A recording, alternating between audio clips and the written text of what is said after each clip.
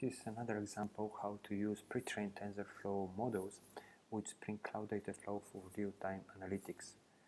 Uh, today I'm going to show how to use the Inception TensorFlow model.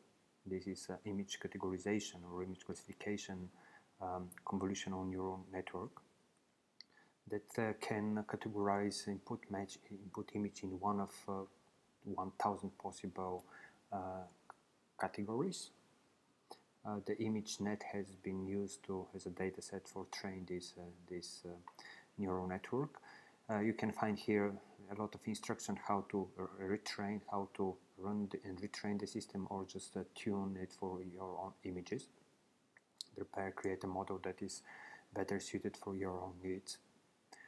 On the Spring Cloud Dataflow side, we're going to use the Spring Cloud uh, Dataflow Tensor Processor and particularly a, a, small extension of this processor that provide a custom input and output converters to better align with the uh, Inception TensorFlow model. Input and output, this is the feeds and feed, fetch of the model. So the input of the labeling processor is uh, uh, binary content of the image file and the output is a JSON message that contains a label tag with the name, most probable name of this image or if you configure the alternative length to something higher, let's say 3, you can have the last, for example, the three most probable um, uh, labels along with their probabilities. We're going to use a Spring Cloud Dataflow single, uh, singleton server with a, rabbit binding, Redis for the sink. Let's start the server. And uh, we'll perform the rest from the web console.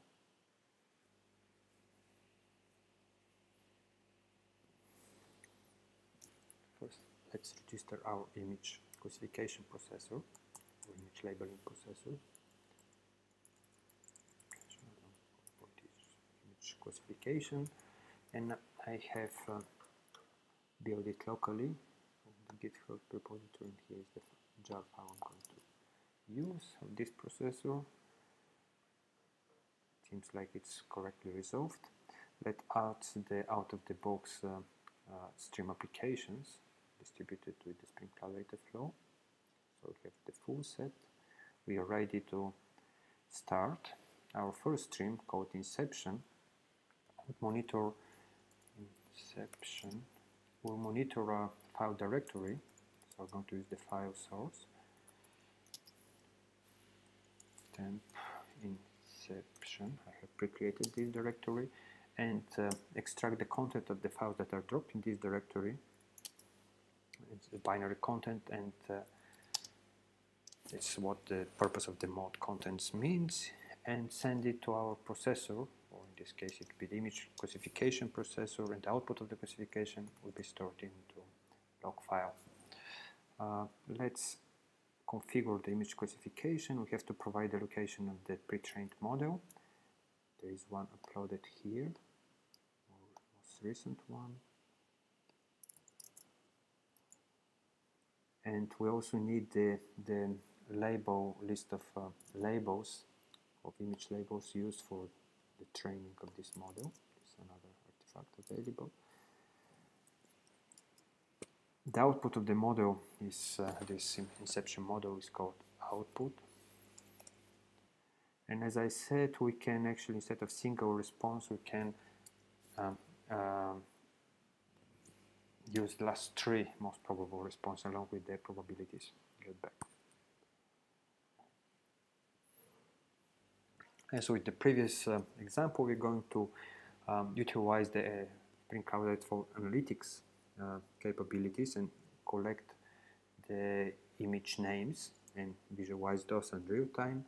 So image names, we're going to tap the inception stream or pipeline at image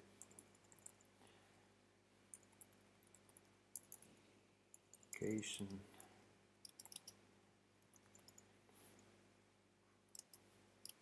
and send the output of the classification to the field value counter sink, this analytical sink, and we'll be interested in the label remember the output contains some interest in this tag.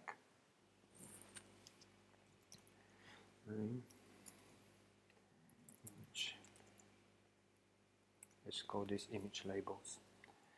And now deploy everything.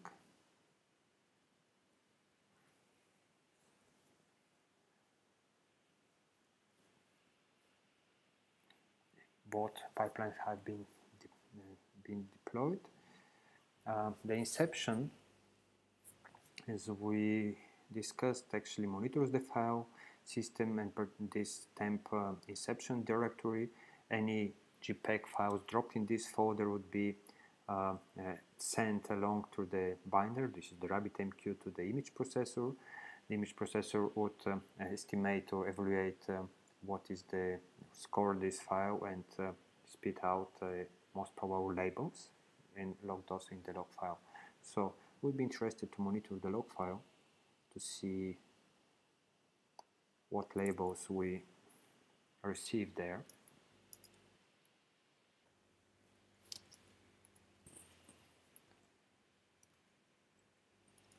Okay, still waiting for the inception classification to, to be deployed.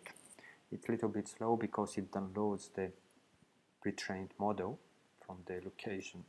Okay, everything seems deployed. We have the pipelines in place. Now let's try to, uh, let's uh, download some images in our file directory temp inceptions. Of course, let's start with uh, something we hope would be recognized. Save image as inside the inception folder. Okay, this will be the first image. Let's see the and indeed it was uh, recognized as a giant panda.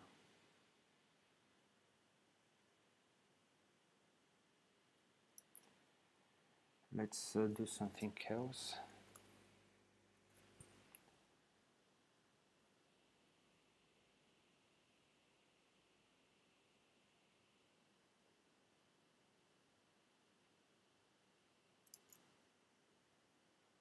Okay, this was even uh, uh, recognized as a Labrador Retriever, Golden Retriever with less probabilities.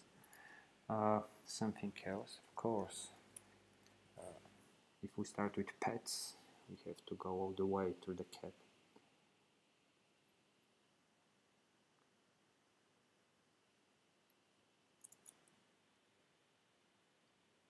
I think uh, this uh, it did a poor job here. It couldn't recognize how nice kitty to actually gray fox. Don't know what gray fox means. It seems like classification more or less works. We can recognize different animals. Let's see if we can visualize this with our analytics. Uh, console, image uh, labels,